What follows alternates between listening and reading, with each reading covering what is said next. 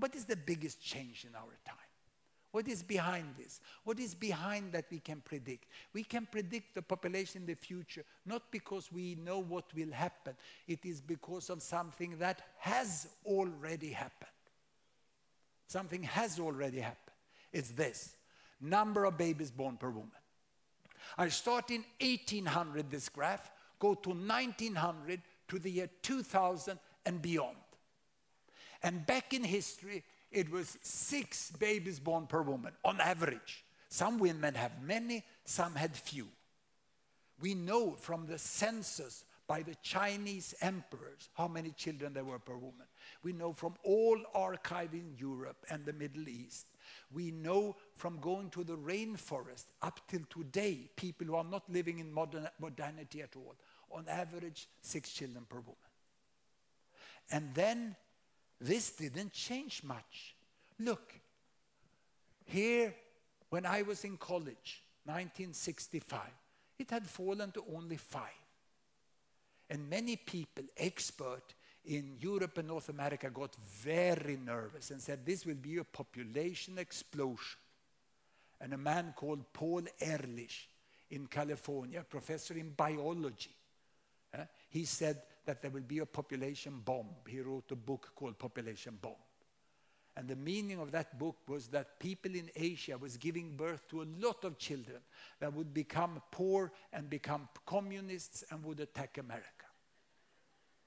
That was the population bomb. It was like an atomic bomb, an attack on America. It wasn't his proposal, it was the editor who said, That's what we will write. It will fit. And then they, co they coined the concept population explosion. And some people still use it. Never ever use that mouth. Take it out of your vocabulary. It's arrogant. It's telling other people that your children are terrorist bombs. Don't say that.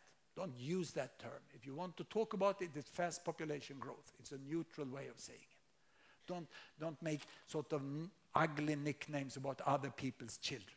It's very ill perceived. Uh, and, and it's just routinely talked about. Uh, what has happened then during my lifetime?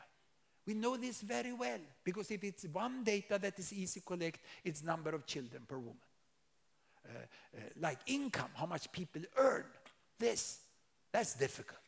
Ooh, it's very difficult. The World Bank is struggling. We have 48 pages, and they ask them out. They ask people. That's very difficult to find out if women did abortion or not abortion. Very sensitive. But number of children is easy. You train students, you send them around, they knock the door, the door open, the children come out to look. They're curious. You count them one, two, three, four. It's very straightforward. We have very good data. Of course, some children may be disabled and they are hidden, you know, some children have died and so on. But with these interviews, we know this number quite well, and we know for sure that this has happened.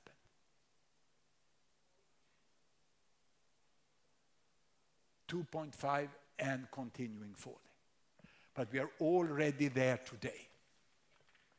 Imagine we were here discussing whether we ever would come down to this level. And because of this, the number of children have stopped increasing because 80% of the world population have kids who are vaccinated, girls in school, electricity at home, and under the pillow they have a condom or a little pill.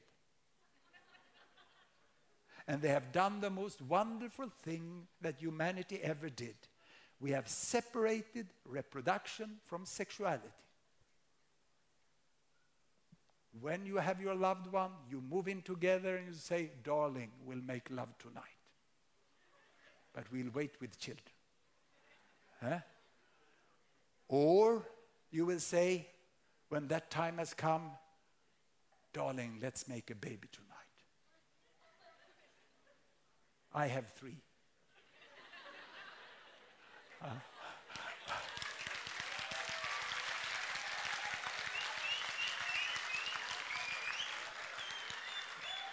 And my wife is called Agneta, and we went to the same class in school, and we are married since. Uh, so, we have said so many times, let's have sex tonight, and we have said, on those occasions, let's make a baby tonight. but we could separate it. And what am I talking about? You know, I, it's not joke. Think about it really seriously. What are the two forces in life? It's the intimacy of sexuality or being ultimately close with the one you love most. That's one of the best thing in life. Eh? As I said, you will never stand living together with other, any other person if it wasn't for sex. That's what's everything, it makes up for all the rest. You know? and, and, and the other thing, the lovely thing of being able together to have a child, to rear a child and see a child growing with the responsibility and the happiness that is. And we can disentangle them. So we can enjoy both of them not to the maximum. Of course, these are also the major problems in life, isn't it? The pangs of despised love, you know, the bad sex you have had, you know, and, and, and uh, kids who misbehave or parents who are terrible. What is worst in life is also the best in life. And the way that we have taken that apart, that's a real advance for human beings. And it has been done because of a spiritual, a moral, you know, a value change and wonderful little rubber technology and pharmacological technology you know, that enable us to do this. And don't like be just mystic. Free and safe abortions. Without free and safe abortion, we can't make it. We need 40 million abortions per year, and all are not safe. And there's no way we could do this. There's illusions that you can live without abortion. And stupid politicians like Ceausescu the communist dictator in Romania have tried to do away with abortion with disastrous effect. And there are some other politicians that, for different reasons, start talking about doing away with abortion. There's no way, no country is living without abortion. There are 40 million abortions per year in the world. And saying that you can live without it is an illusion, it's a naivety then you can handle them in different way. Then you can support women in different way to give women a true choice, whether to have this baby or to make this abortion. But let it be a woman's choice. Eh? But don't force them one way or the other. Eh? That's what we have seen in the world that works out. So how did this play out in region? In Europe it started early. Eh? America came a little later and they had a baby boom after the Second World War. And then they came down. Europe is now down to 1.5 on average. Americas, including Latin America, is on two. Brazil, that big Catholic country, make 1.8 children per woman. And Sweden, the almost secular Protestant country, we make 1.95. the Brazilian may be good at football, but we are better in the bedroom. Yeah? and in the homes, uh, we have a more child friendly. I shouldn't bra brag like that. I mean, we are lucky in Sweden. We have a good economy. We have, we have had peace. We have been able to set aside money for good daycare center, for parental leaves, and all these things, you know. And there's quite a lot of political unity of it. It's not so much, so much uh, fuss about it. Asia here, very high, then came down fast like that down to two, very fast. And Africa, is anything happening in Africa? Will ever Africa change? Yes. Here it's coming. Some part of Africa is already down here. What we don't know is how fast Africa will come down. It may be faster. There are some estimates of independent institutes to say it may go faster in Africa. Others say no, no, the remote rural parts of Africa are moving so slow and there's also war situation. So this is an uncertainty. But the big uncertainty, where will we land here? Will the world be like Sweden or like Germany? Countries so close and one have one child, per 1.5 per woman, and Sweden have two. Germany 1.5, Sweden two. It's quite interesting that seemingly similar countries have different number of children, and different countries, like Sweden and United States, are different in many ways, but have two children per woman, both of them. And we can, we can, you know, oh, those Americans are so vulgar, they are so mm, uh, market econ economy oriented, and they say those are socialists in Swedes, but we make the same amount of kids. So, so there are many determinants for this. There are many ways. You have to look very carefully for it. Let me show you this if I use a bubble graph. This is my beloved bubble graph here. You may have seen it. Every country is a bubble. Huh? Every country is a bubble, and the size of the bubble is the population. India and China is here. This is 1965. The red ones are Asia, The yellow ones are Europe, the green are America, and the blue are Africa.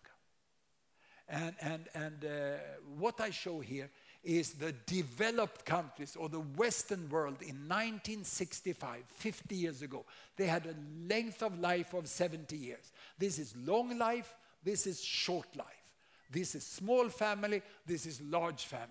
Look at the world 50 years ago. Two groups of country. One cluster down here with long life and small family, a big cluster up here, the developing countries, they had large families and they had short lives because many died young. Many died young. Now, how has the world changed? This data may not be so perfect, but the change is so big, so you can forget about data uncertainty. The change is so big. Those changes that happen not only, this is the bedroom. Huh? This is whether there's a condom or a pill under the pillow. Huh? And whether there is that wonderful pillow talk. Baby, what should we do tonight? My darling, what should we do tonight? Sexy baby. Huh? That talk, that's here. Life expectancy is not so much about the bedroom, it's about the bathroom. You have a decent bathroom with good hygiene. You have a decent kitchen, you know, and you have food, you know, you have good nutrition. And if so, you may have a health service and you have education. Then you live long. Huh? So you can see how different the world was. It was really two types of countries, developed and developing. And the definition of developed country was having more than five children per woman. Now look what has happened.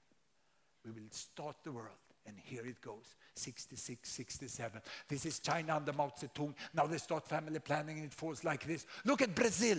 They don't care about the Pope and the Vatican. They put on the condom and they come down here. No, this is Indonesia. It's coming here. This is, this is Bangladesh overtaking India. There's moving like this. And look here, Ethiopia. Ethiopia is an enormously successful country. It's coming here very fast, and the world has changed completely. You have, you have this enormous change. Look, from this divided world up there, and then down here, there's not two groups any longer. The globalization started in the bedroom. You see, it's 2.5 children per woman here. Is the average. 70 years is the average here. Uh, and, and this means that most, can you see now, most countries are closest to the best. Uh, and then there are some who lags behind here. And also when it's number of children per woman, most countries are down here. These are the 80 percent. These are the 80% that go to school, they are vaccinated, you know, they have electricity at home. Then some are lagging behind. And countries lagging behind are, of course, countries with war like Congo, like Afghanistan, eh? like Mali, eh? like Somalia. They're estimated, they're up there. Now, and in photos, in Mexico, the Catholics in Mexico, they have two children, they build their home there. This is exactly like me in the 1950s, early 1950s. My father and mother building a little home where we could stay with bathroom, nice water, and so on, you know. And this is having a little motorbike going to the beach. This is also me and my brother when I was young. It was like this. This is before. This is, and that's Vietnam. That's Buddhist. These are Muslims in, in, in Bangladesh. Father is an entrepreneur. He has a bicycle, a rickshaw. They have two daughters, and they are going to work hard, that couple. Average number of children per woman in Muslim Bangladesh, 2.2. The Swedish population think that it's way higher. And they're 2.2, and girls go longer to schools than boys in Bangladesh today. It's a densely populated country. In the past, when I was a student, we said Bangladesh will be a catastrophe of flooding and famine. Now they changed it. It's a miracle that has happened in Bangladesh. Huh? Hindus in India, those ones have probably an income above average, but two children is the most common family in India. The number of children have stopped increasing in India. They have 2.4. And here are Coptic Christians in Addis Ababa. This family have two, but the average in Addis Ababa today is 1.6 children per woman, less than Stockholm. Because women are now getting a high level of education in the capital of Ethiopia. And, and they are changing the pattern like that. So an overview would be like this. In the past, the two parents on average got six children.